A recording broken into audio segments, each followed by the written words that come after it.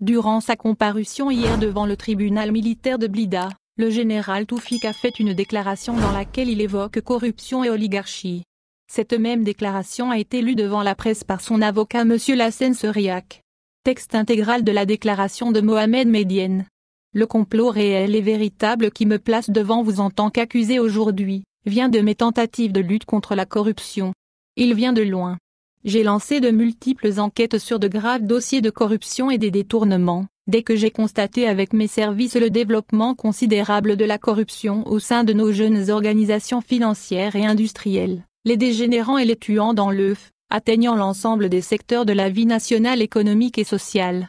Un développement criminel oligarchique d'une corruption vite mélangée avec la politique et l'exercice des missions des pouvoirs publics, voire le fonctionnement de l'État une transformation rapide et nouvelle de cette forme de criminalité, hautement dangereuse pour l'existence même de notre nation. Avec le nombre de gens mêlés aux affaires et au trafic véreux, les appétits ont grandi. La moindre entreprise spontanée, gracieusement financée, porte sur des chiffres que l'on n'a jamais osé imaginer. La soif de faire des affaires malhonnêtes et de les faire vite est devenue générale. Point la pas du gain facile à lever tous les scrupules.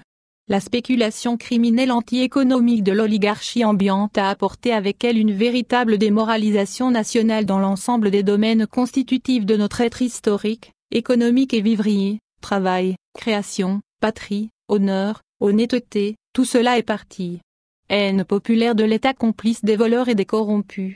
Le profit, le gain ne dépendent plus de l'honnêteté et du travail mais de la relation criminelle, de l'habileté criminelle à voler et à détourner. Oligarques, démarcheurs, intermédiaires, rabatteurs, publicistes financiers, politiciens, financiers ont pullulé par génération spontanée à l'ombre de l'État corrompu et des oligarques avec leurs fausses grandes entreprises. Enhardis, ces oligarques et leurs complices institutionnels ont introduit dans notre pays le principe systémique des pots de vin et des pots de miel, des commissions faramineuses devenues un véritable cancer des projets publics, comme la Sonatrach, l'autoroute Est-Ouest, ils ont mis en place des organisations criminelles formant par leurs ramifications mondiales et internes une puissance occulte dans les rouages de l'État, qui doit compter avec elle pratiquement sur tout.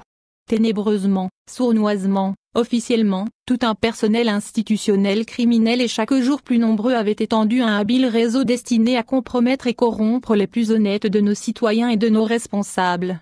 La corruption allait donc faire disparaître littéralement et physiquement notre jeune nation ses territoires et ses richesses nationales, voire son peuple dépossédé de toute valeur de vie composée. Je persiste à croire, malgré le mal fait à ma famille et à mes enfants, aux principes qui animent celles et ceux qui luttent contre la corruption destructrice. Que mes initiatives d'enquête contre la grande corruption demeurent le fer de lance de mon devoir accompli, même s'il doit